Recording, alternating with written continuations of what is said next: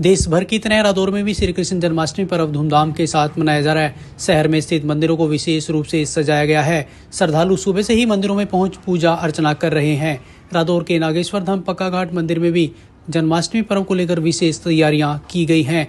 मंदिर के संचालक धनंजय स्वरूप ब्रह्मचारी ने बताया कि जन्माष्टमी पर्व को लेकर मंदिर में शाम को भव्य झांकियों का आयोजन किया जाएगा। उन्होंने बताया कि इन झांकियों में विशेष रूप से भगवान कृष्ण की लीलाओं से संबंधित व अन्य देवी देवताओं की सुंदर झांकियाँ निकाली जाएँगी। उन्होंने बताया कि इस बार पूरे देश में एक ही दिन जन्माष्टमी का पर्व मनाया जा रहा है, जिसको लेकर श्रद्धालुओं में काफ़ी उत्साह देखा जा रहा है।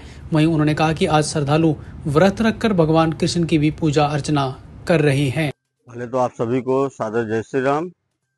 आज, श्री नागेश्वर धाम दंडी स्वामी आश्रम पक्का घाट रादौर में कृष्ण जन्म उत्सव के उपलक्ष्य में भव्य झांकियों का आयोजन आज किया जाएगा, जिसकी तैयारी लगभग पूरी हो चुकी है और जिसमें अनेक प्रकार की भगवान कृष्ण की लीलाओं की सुंदर झांकियों के स्वरूप में दर्शन कराया जाएगा।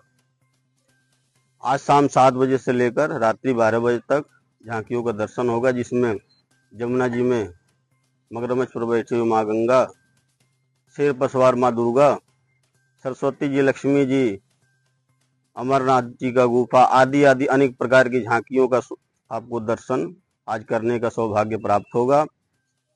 आप सभी रादौर नगर निवासी जनता जनार्दन, श्रद्धालु भक्तों से मैं आग्रह करता हूँ कि आप समय पर आइए और झांकियों का सुंदर दर्शन करके पुण्य के भागीदार बने और कृष्ण जन्म उत्सव आज धूमधाम से सभी लोग अपने अपने घरों में मनाएँ अपने अपने बच्चों को सभी मंदिरों में ले जाएँ, दर्शन कराएँ, ताकि उनके भी मन में सनातन के प्रति, सनातन धर्म के प्रति एक आस्था जागृत हो उनके मन में भाव जागृत हो जिससे वो अपने सनातन धर्म के प्रति निरंतर कार्य करते रहें और लगे रहें। आप सभी से मेरा यही निवेदन है। व्रत तो व्रत तो देखिए आज ही का होगा। और व्रत का आज लगभग पूरे भारत में आज मैं अपने उसमें पहली बार देख रहा हूँ पूरे भारत में आज ही के दिन पहले मतलब प्रथम दिन ही जन्माष्टमी के त्यौहार मनाया जा रहा है। नहीं तो अनेक वर्ष लगभग दो दिन का हो जाता था। इस वर्ष सभी जगह लगभग एक मतलब 26 तारीख को ही जन्माष्टमी मनाई जा रही है।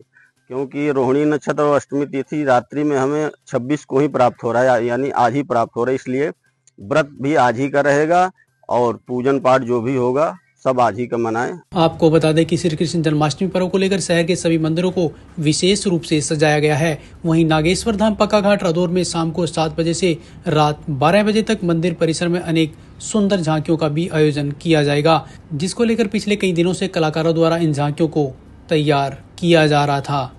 Bureau report, Navdesh Times.